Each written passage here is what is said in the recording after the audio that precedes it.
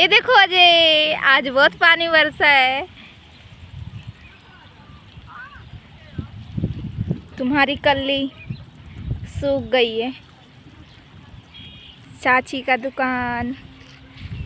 ये रहे दुर्गेश भैया।